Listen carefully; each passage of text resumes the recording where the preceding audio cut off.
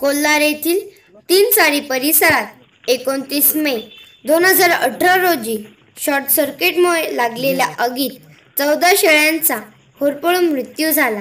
तसेच रोख रक्कम व संसार उपयोगी साहित्य जळून भस्मसात झाले. या आगीत दोन कुटुंबियांचे सुमारे तीन लाख रुपयांचे नुकसान झाल्याने त्यांचे संसार उघड्यावर पडले आहे.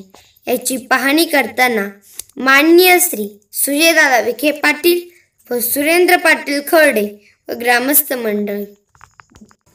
माननीय श्री सुजयदादा विखे पाटील व कोल्हार ग्रामस्थांच्या वतीने तसेच व्यापारी वर्गाच्या वतीने जडीत झालेल्या कुटुंबियांना आर्थिक मदत करण्यात आली. यावेळी मान्य श्री सुजयदादा विखे पाटील व कोल्हार ग्रामपंचायतीचे माजी सरपंच सुरेंद्र पाटील खर्डे हेही उपस्थित होते व कोल्हार ग्रामस्थही उपस्थित होते.